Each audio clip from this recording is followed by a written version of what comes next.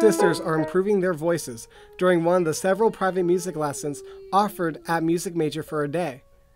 Attending the event since it began back in the fall of 2016, these Pullman High School seniors are loving the opportunity it gives people to make their music fantasies potential reality. Actually realize that you can have a career in something you love so so much. It's so inspiring. It's just like, oh my gosh, I can actually do this. It's great. Music Major for a Day gives aspiring students a taste of the college experience, being encouraged to go to classes, explore the campus, as well as take advantage of free private lessons that highlight the connections that can be created between students and teachers.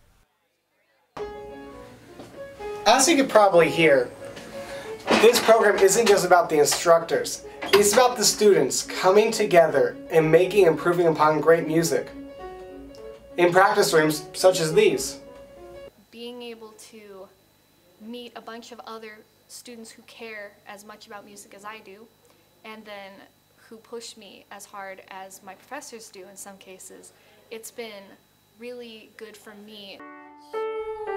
Traditionally holding this event during fall semesters, Brian is enjoying the opportunity to teach more students about his love for music.